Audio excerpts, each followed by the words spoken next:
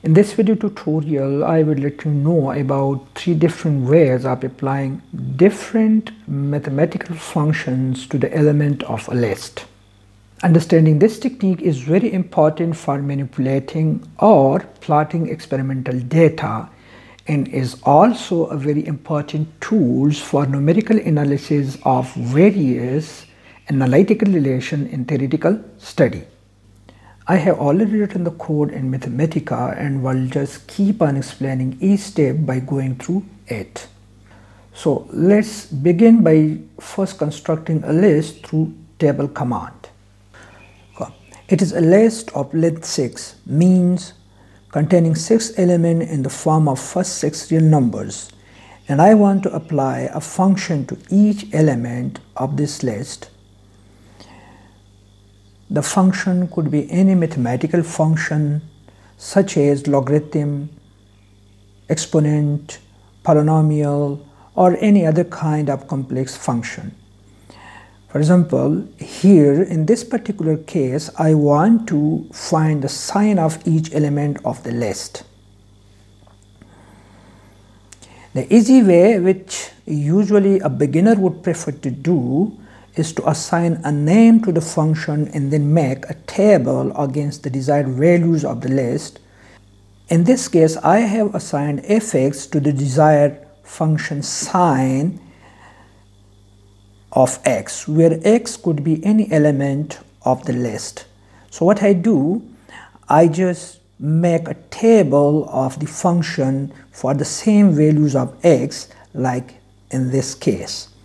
So if I run the function so, so if I run this list I see that the function sine is mapped to the to each value of the list. Here I have 0 because sine of 0 is 0 and then the rest of the elements everyone has mapped to everyone the sine function is mapped and if I want to find the numerical values of this function, I just need to run this command. And I have the numerical values for each member of the list or for each element of the list. Now, in order to understand the potential of Mathematica, I would like to apply two different functions to the list of interest. For example, in this case, I have assigned two function, exponent and trigonometric sine function and have assigned the name fx1. If I run this program, I would have the mapping of both functions simultaneously to each element of the list every element of the list is exponentiated. Here have, we have 1 because sine of 0 is 0 and exponent of 0 is 1. So this way I can assign different function to each element of the list and if I want to find the numerical value I just have to replace the name of the list followed by two forward slashes and the capital N which is a command for numerical values. Okay, now the next step is to use a built-in command of Mathematica that map a function to each element of the list and that function is map either you can write it as MAP but I would like to use the programming language and for in programming the map function is applied by backslash followed by at the rate. So this thing in the program apply the map function. So what I do I first map sine function or the member or the elements of the list and give it name ls4 and simultaneously I then apply the exponent function to each element of ls4 so this single line will apply both the function to the list of 1. Keep in mind here I'm not making any table. Rather I'm directly taking the value of the list and map sine function over each element of the list. And once this list is formed then I uh, ask Mathematica to apply the exponential function to each element of list 4 so if I run this I'll get the same result as over here and if I want to find the numerical values I just put this percent sign. The percent sign in Mathematica is used for taking the value one output ahead. Like in this case this is output 8 so if I use this the person uh, is the, the person call Mathematica to take the values from this one list. And I have the same values as in this one list. If you compare this list in this list they are exactly term by term equals. Okay that's what we use the built-in command of Mathematica and the built-in command is mapping. The next thing is user defined function and that is the most powerful tool that you can use Mathematica to construct any kind of function of your own desire without referring to the uh, without referring to the built-in command of Mathematica. So I want to reproduce the same result by first defining a function and then I can map that function back to uh, and then I can map that desired function over the elements of the list. So what I do here, I first define a function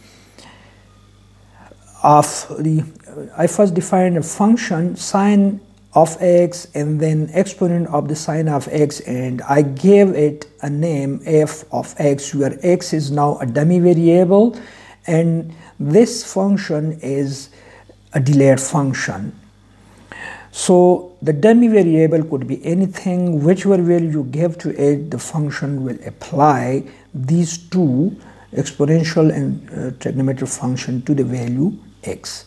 So what I do, now I map f over each element of the x over here and if I run this, again I get the same list as I have obtained over here.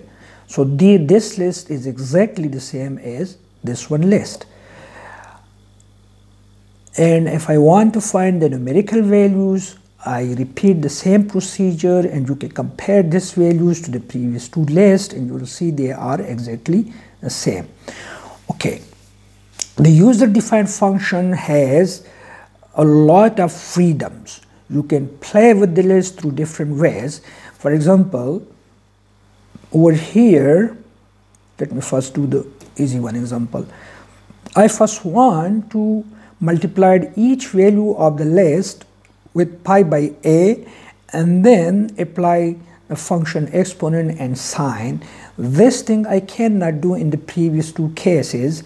So this is in fact the extra freedom in user defined functions and uh, if I define this function then run it, map over list 1. Now you see each element of the list is first multiplied with pi by a. You can see over here because this is 1 times pi by a, this is 2 times pi by a, this is 3 times pi by a and so on where 1, 2, 3 are the elements of the list.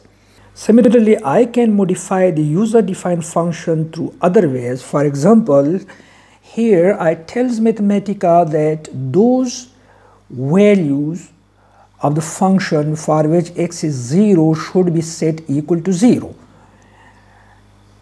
If I run this part of the function and then map it to the list 1, now compare this list with this one list you see the difference in the first element here the first element is 1 because here we have first taken sine of 0 where 0 is the first element of the list and then exponentiated it and exponent of 0 is 1 so we have 1 over here.